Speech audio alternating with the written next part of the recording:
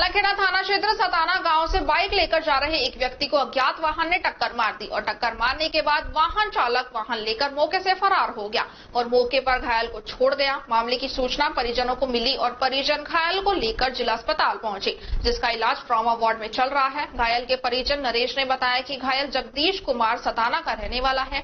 और वह अपने गाँव से बाइक लेकर अकेला मालाखेड़ा घरेलू कार्य से जा रहा था।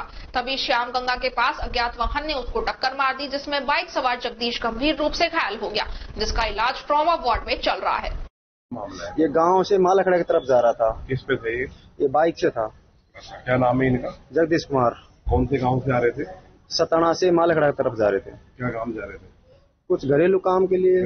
एक्सीडेंट हुआ ये हमको सूचना लगी किसी ने फ़ोन किया तो श्याम गंगा के पास में किसी अनजान साधन से देर के नहीं वो टक्कर देके वो तो भाग गया। अच्छा। और इसको पड़ा छोड़ गया कहाँ लगी है इनके भाई साहब के? है कि हल्की फुल्की कोई चोट आई है हाथ में लगी है और हाँ, हल्की फुल्की यहाँ पे भी लगी है। तो आप कहाँ लेकर आए फिर?